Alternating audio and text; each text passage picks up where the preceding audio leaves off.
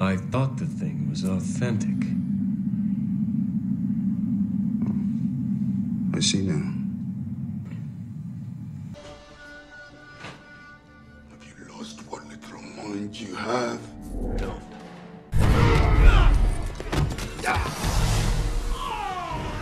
There, in my house! I am the last of the Council of Wizards, keeper of the Rock of Eternity. Truly good person, strong in spirit, pure in heart. Shazam? Yes! Carry my name, and with it you carry all my powers. The wisdom of Solomon, the strength of Hercules, the stamina of Atlas, the power of Zeus.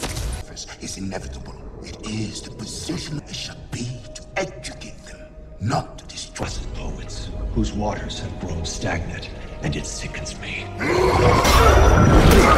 Adasilik Halak, drop it now! Hey, cool, man. No problem. No problem at all.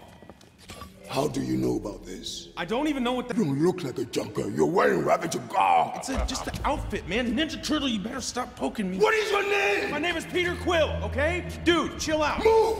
Why? Ronan may have questions for you. Hey, you know what? There's another name you might know me by. Star Lord. Who can't be good? Must be another Skrull attack. It was deeply disturbed to the face of my mortal enemy, and the face staring back was my own. Me. But I'm not laughing. You never laugh. I laugh on the inside. I'm not. Oh, Star-Lord!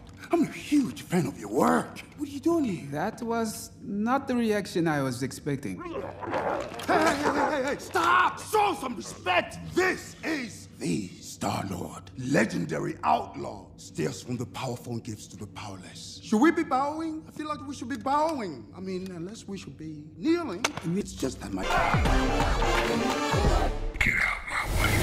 We have the answers we need. I guess that means I have questions for you. Goodbye, Captain. We need to talk. Maybe you just lop off the head of every newcomer who hits town. If we did that, How's it?